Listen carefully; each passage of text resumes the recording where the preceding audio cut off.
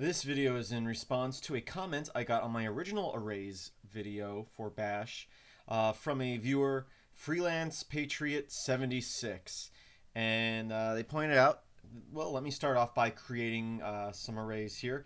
I can go, uh, just using the same example I used in the last one, we'll create an array called names.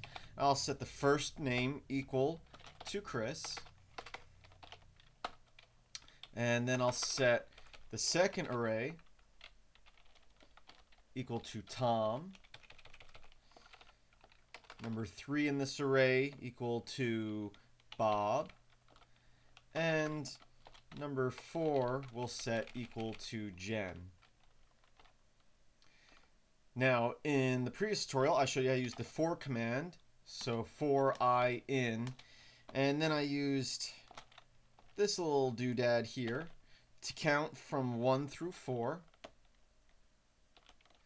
And then we said do echo, and I said dollar sign, squiggly brackets, or curly brace, whatever you prefer. Uh, names, and then uh, we'll do dollar sign I here. And I'll explain all this in just a moment close your squiggly brackets, and then done. So for i, so we're creating a variable called i, and i is going to equal 1 through 4. It's going to count 1 through 4. And for each of those numbers, 1, 2, 3, 4, it's going to do this. And what it's going to do is echo, or print out to the screen, our array of names one at a time as i, our variable that we created over here, is equal to whatever number it's at at that point, and done just closes our for loop. So if I hit enter, it basically just prints out each name in that array. If I show you, if I change this from 1 through 4 to 1 through 3, only do the first three names, 1, 2, and 3. If I do 2 through 4, it skips the first name, Chris, and it goes Tom, Bob, Jen. But the thing that uh, Freelance Patriot 76 pointed out to me is it could be simpler if we just changed it to this. Instead of doing this little doodad here to go from 1 through 4, what we can do is put our array there. Dollar sign, squiggly brackets, names, and then instead of a number, we'll put the at symbol. Oops, sorry, that's supposed to be uh, square brackets. At the at symbol, and basically that's saying every array. So we can't do, at least not exactly how I'm showing you, you know, 1 through 3 or 2 through 4. This will just display every array uh, or every value in that array.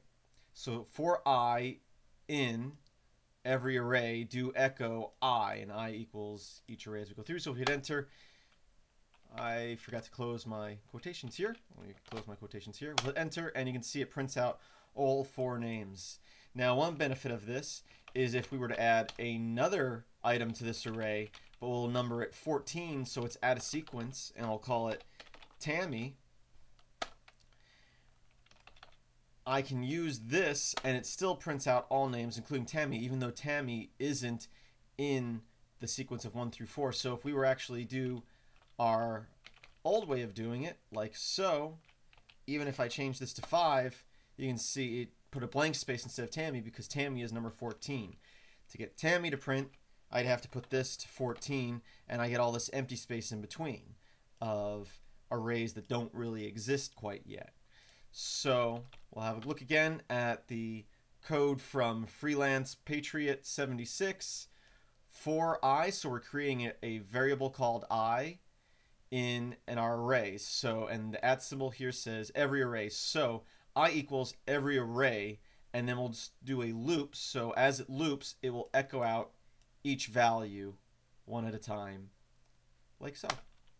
And that is another way to use arrays in Bash, uh, just depending on what you're going for. For more uh, information on arrays, check out my previous array video. And for more Bash videos and other tutorials, visit filmsbykris.com or bashscripts.info. Have a great day. And thank you, Freelance Patriot 76, for your comment.